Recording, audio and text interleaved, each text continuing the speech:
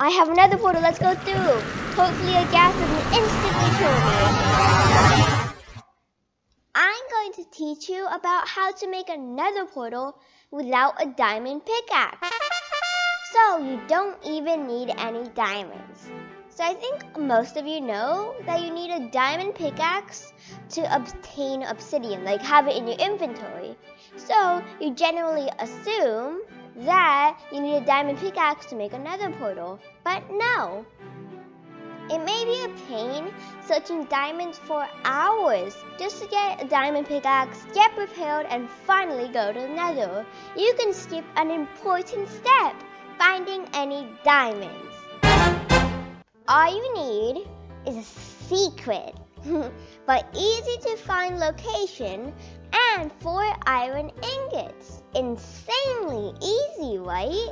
You can go to the hellish dimension right now.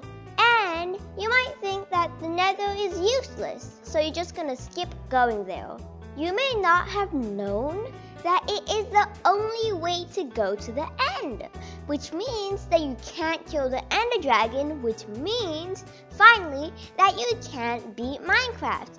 And you can't say you're the best pro without beating Minecraft. it is one of the fastest ways to get XP, mining quartz. From just four of them, I went to level 2.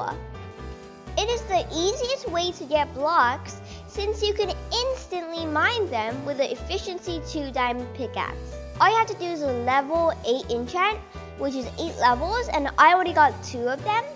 And a diamond pickaxe, enchant it.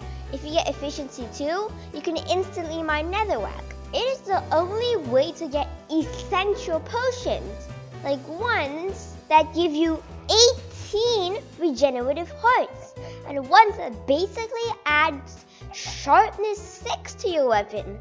Overpowered, right? Finding iron is quite easy. All you have to do is find a surface cave and start mining the iron.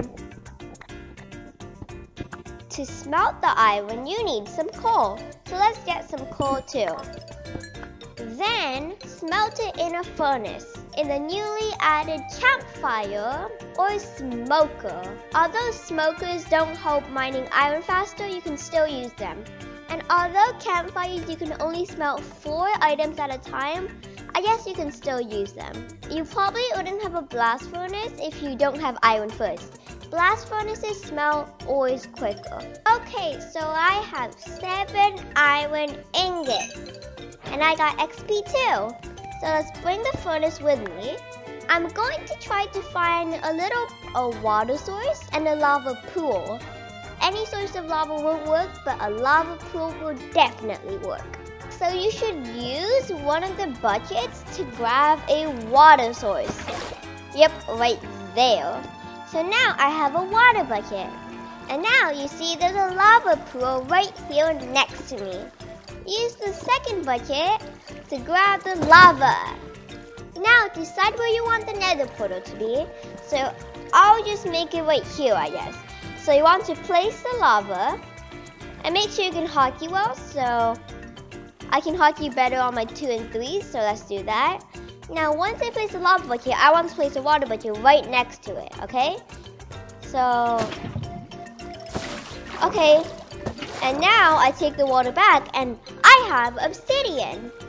So now you can keep doing this until you have the shape of a nether portal, which is a 2x3 rectangle without the edges and there's nothing in the middle.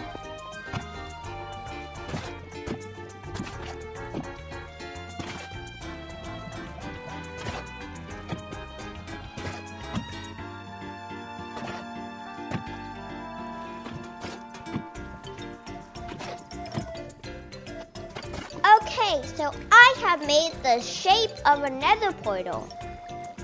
Now, all I have to do is get a flint and steel and place it on the nether portal. And I can go to the nether. So there's some flint over here, so let's start mining it. So let's wait until we get a flint, I guess. Okay, I got a flint. I can craft a flint and steel. I have a flint and steel now. That's awesome. It is my path to going to the nether, guys. Let's place it. I have a nether portal. Let's go through. Hopefully a ghast doesn't instantly kill me. Oh, I got a pretty good spawn. Okay, let's go back.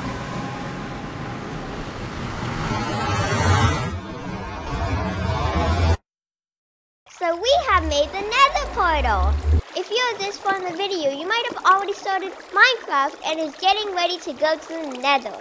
If you learned at least one thing today, if you haven't already, make sure to like, subscribe, and comment anything.